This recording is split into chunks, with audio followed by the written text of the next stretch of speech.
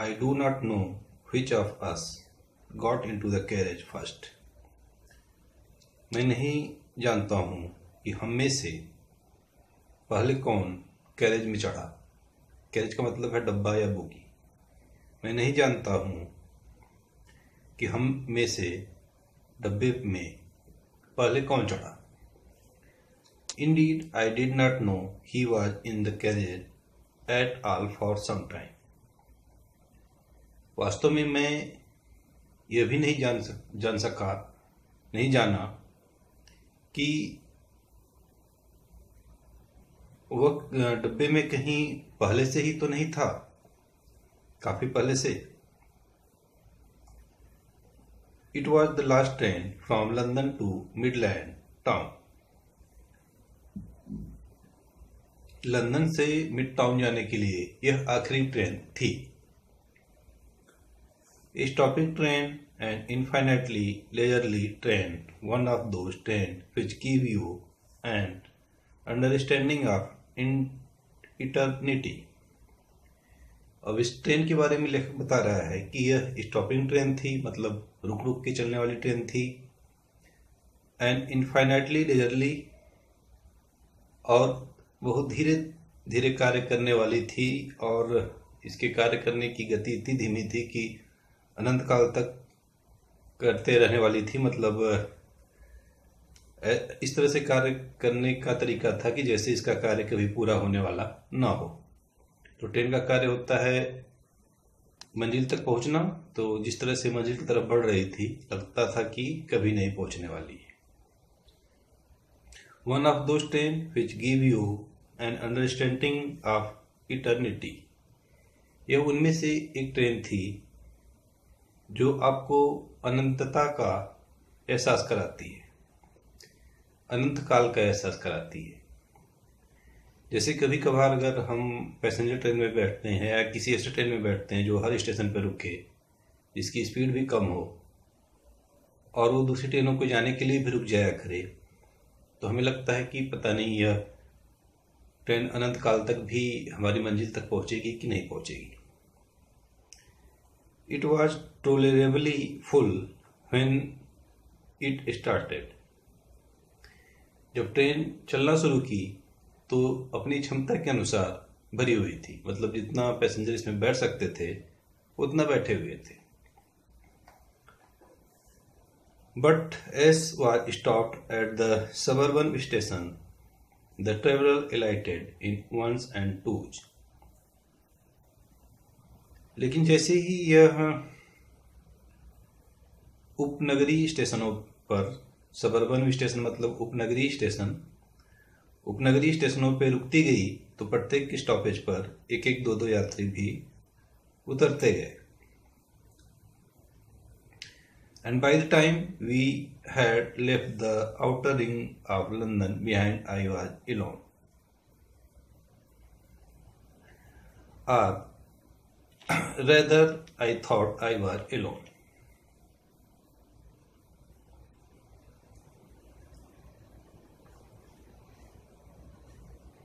और समय के साथ हम जो लंदन का सीमा रेखा था आउटर रिंग था बाहर का एरिया था उसको छोड़ दिए मतलब लंदन की सीमा रेखा से बाहर आ गए और अब मैं अकेला था लंदन को पीछे छोड़ाया था और अब मैं अकेला था। या अपेक्षाकृत मैं यह कहना चाहूँगा कि मैं ऐसा सोच रहा था कि मैं ट्रेन में अकेला था।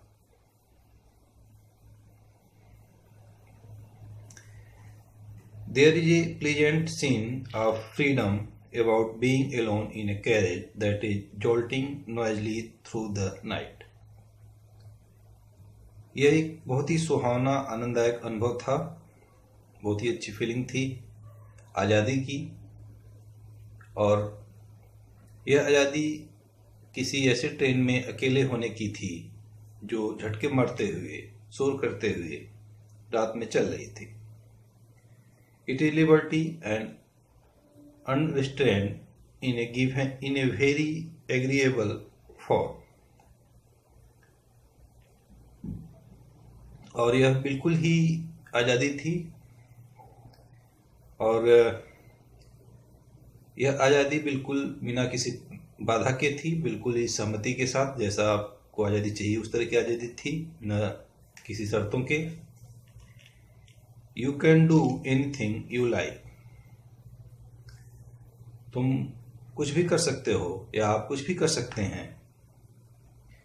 You can talk to yourself as you loud as you please and no one will hear you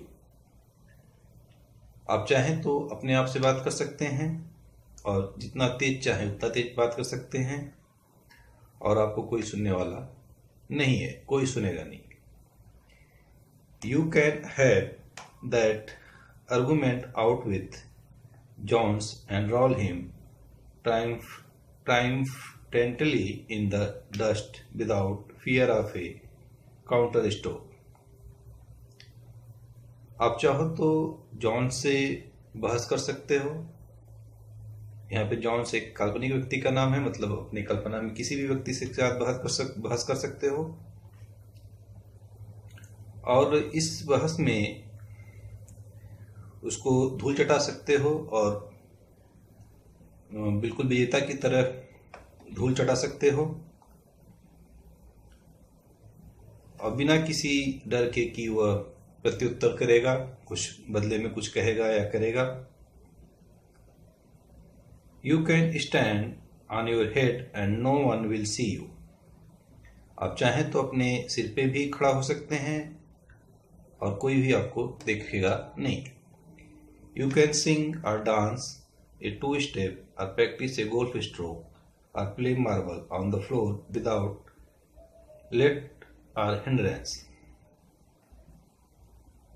आप चाहो तो गाना गा सकते हो, चाहो तो एक दो स्टेप नाच भी सकते हो, या गोल्फ खेलने का अभ्यास कर सकते हो, या फर्श पे कंचे खेल सकते हो बिना किसी बाधा या प्रतिरोध के। You can open the window और shut it without provoking a protest आप चाहो तो खिड़की को खोल सकते हो, चाहो तो बंद कर सकते हो बिना किसी प्रकार की बाधा विरोध की। You can open both window or shut both आप चाहे तो दोनों ही खिड़कियों को खोल सकते हैं, आप चाहें तो दोनों ही खिड़कियों को बंद कर सकते हैं। प्राय ट्रेन में जब कई यात्री होते हैं तो खिड़की को खोलने या बंद करने को लेकर अक्सर नोकझोंक होती है और कभी कभी तो मारपीट भी हो जाती है, पर ट्रेन में कोई है नहीं तो पूरी आज़ादी आप चाहो खोलो, चाहो बंद करो। You can have any corner you choose and try all of them in turn आप चाहें तो ट्रेन में या डब्बे में जिसमें आप हैं, उसमें कोई भी कोना चुन सकते हैं।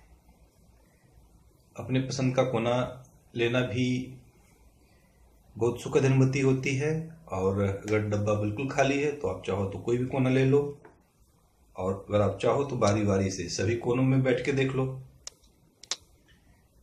You can lie at full length on the cushion and enjoy the luxury of breaking the regulation and possibility of heart of D O R A आप चाहें तो जो बिस्तर है या जो कुशन है, गद्दा है ट्रेन की सीट पर, उस पर पूरे आराम से फैल कर सो सकते हो और पूरा सहियाना आनंद ले सकते हो और इसमें और ऐसा करते हुए आप जो रेगुलेशन है, नियम है, उसको भी तोड़ सकते हो। Regulation and possibility the heart of Dora तो जो ट्रेन का नियम है, उसे तो तोड़ ही सकते हो। हो सकता है उस समय ट्रेन का ऐसा कुछ नियम रहा हो कि डब्बे में सोना मना हो, लेकिन कोई है नहीं तो ट्रेन के नियमों को तोड़ सकते हैं। ऐसी स्थिति में जब कोई नहीं है और संभवतः डोरा के हर्ट को भी आप तोड़ सकते हैं। अब ये डोरा कौन है? डी ओ आर ए मतलब डिफेंस ऑफ़ रेलम एक्ट उस समय लंदन में डिफेंस ऑफ़ रेलम एक्ट था। उस एक्ट के तहत जो भी नियम रखे गए हों तो उसके हट को तोड़ना मतलब उसके जो नियम है उसको तोड़ना। तो ऐसी आज़ादी में आप डोरा के हट को भी हृदय को भी तोड़ सकते हैं। Only dough, Dora will not know that her heart is broken और इस आज़ादी में अगर आप कुछ भी नियम तोड़ते हो, डोरा का दिल भी तोड़ते हो तो ये भी संभव है कि उसको इस बात की भनक भी ना लगे कि उसके नियम को तोड़ दिया गया, उसके दिल को तोड़ दिया गया। You have escaped even D O R A और आप सब कुछ नियम कायदा तोड़ने के बाद भी डी ओ आर ए से डिफेंस ऑफ़ रेलम एक्ट से बचे रहोगे, बचे रह सकते हो। I did not do anything of these things और इस रात मैंने इनमें से ऐसा कुछ भी नहीं किया। मतलब ना कंचे खेला, ना गोल्फ की प्रैक्टिस किया, ना गाना गाया, ना बहस किया किसी से, ना डोरा के दिल को तोड़ा, ऐसा कुछ भी नहीं किया। They did not happen to occur to me ऐसा कुछ भी मेरे साथ नहीं हुआ। What I did was much more ordinary. और जो कुछ मैंने किया वो ज़्यादा ही साधारण था। मतलब जैसा मैं नियम तोड़ने की आज़ादी महसूस कर रहा था तो ऐसा कुछ मैंने किया नहीं। और जो कुछ किया वो बहुत ही ऑर्डनरी था सामान्य था।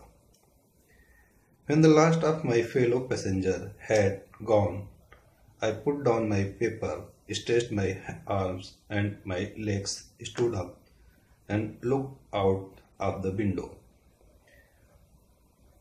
जैसे ही मेरा आखिरी सहयात्री उतरा मैंने अपने पेपर को जो हाथ में ले रखा था जो समाचार पत्र मेरे पास था उसको मैंने नीचे रखा अपने बाहों को फैलाया और साथ ही साथ अपने पैरों को भी फैलाया और फिर खड़ा हो गया looked out of the window खिड़की के बाहर देखा। On the calm summer night through which I was journey खिड़की के बाद मैंने उस ग्रीष्म ऋतु की रात, बल्कि उस ग्रीष्म ऋतु की शांत रात को देखा, जिस रात से मैं, जिस रात्रि में मैं यात्रा कर रहा था। Nothing the pale reminiscence of the day that still lingered in northern sky. खिड़की के बाहर ऐसा तो कुछ नहीं था, सिवाय इसके कि हल्का पीलापन था उत्तरी आसमान में, जो दिन की समाप्ति के समय होता है जब दिन लगभग समाप्त हो चुका होता है तो हल्का सा जो पीलापन होता है, बस उतना ही कुछ था उत्तरी आकाश में cross the carriage and look out of the outer window मैंने फिर उस बोगी को क्रॉस किया, पार किया और फिर दूसरे खिड़की से देखा। लीट ए सिगरेट, एक सिगरेट जलाया sat down and began to read again cigarette जला के फिर बैठ गया और फिर दोबारा पढ़ना शुरू कर दिया। It was then that I become became aware of my fellow traveller अब यह वह समय था जब मैं अपने सह यात्री की तरफ़ जागरूक हुआ या एक ही कि अपने सहयात्री के बारे में जाना या उसको महसूस किया कि मेरा सहयात्री भी है। He came and sat on my nose. मेरा सहयात्री आया और आके मेरे नोज़ पर, मेरी नाक पर बैठ गया। He was one of those wingy, nippy, intrepid insect that we call vaguely mosquito. यह उनमें से एक था जिनको पंख होते हैं और कुछ नुकीला भी होता है उनके पास और साथ ही साथ ये काफ़ी साहसी कीड़े में कीड़े हैं और जिसे हम स्पष्ट रूप से मच्छर कहते हैं I filled him off my nose मैंने उसे अपने नाक से उड़ाया and he made a tour of the compartment investigated its three dimension visited each window, fluttered round the light, decided that there was nothing so interesting as that large animal in the corner, came and had a look at my neck. मैंने उसे अपने नाक से उड़ा दिया। उड़ाने पर जब मैंने उसे उड़ा दिया तो वह पूरे डब्बे में एक दौरा किया, पूरे पूरे डब्बे में दौरा किया। इन्वेस्टिगेटेड इन थ्री डायमेंशन और उसने अपने दौरे में तीनों आयामों में मुआयना किया। तीनों आयामों से मतलब है, अपने आगे भी गया, पीछे भी आया, कुछ ऊपर गया, कुछ नीचे गया। मैथमेटिकली मैथमेटिकली कहें तो लेंथ ब्रेथ और हाइट तीनों ही डायरेक्शन में उसने मुआयना किया। विजिटेड ईच विंडो प्रत्येक खिड़की का परीक्षण किया। Fluttered round the light light के चारों तरफ़ फड़फड़ाया जो ट्रेन में लाइट जल रही थी।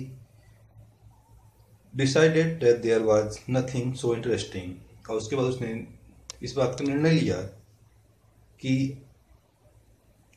there was nothing so interesting as that large animal in the corner came and had a look at my neck सारा मुआयना परीक्षण करने के बाद उसने यह निष्कर्ष निकाला, यह निर्णय लिया कि जो कोने में बड़ा सा जानवर बैठा हुआ है, उससे ज़्यादा दिलचस्प कुछ भी नहीं है।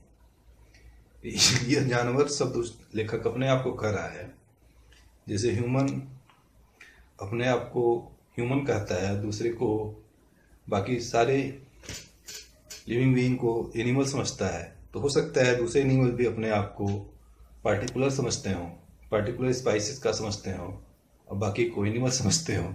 तो मच्छर भी अपने आप को सोचा कि मैं तो भाई मच्छर हूँ, और बाकी वो जो जानवर है, वो काफ़ी दिलचस्प है। और आके उसने नाक पर, आके, लेखक के गर्दन को देखा मतलब गर्दन पे बैठ गया। फ्लिक्ट हिम ऑफ़ अगेन मैंने उसे दोबारा उड़ा दिया। Skated away took another jaunt round the compartment वह कूद कर दूर चला गया और एक छोटा सा चक्कर लगाया डब्बे में। Return the return seated himself impudently on the back of my hand और छोटा चक्कर लगाने के बाद आया लौट कर आया। और पूरी ही धृष्टता के साथ मेरे हाथ के पिछले हिस्से पे बैठ गया। इट इज़ एनफ अब बहुत हो चुका है। आई सेट मैंने कहा। Magni magnanimity has its limit उदारता की एक सीमा होती है। Twice you have been warned that I am someone in particular, that my august person resents the tickling impertinence of stranger तुमको दो बार चेतावनी दी जा चुकी है और मैं एक बहुत ही खास व्यक्ति हूँ, विशिष्ट व्यक्ति हूँ और, मेरी उदारता या मेरे अंदर का जो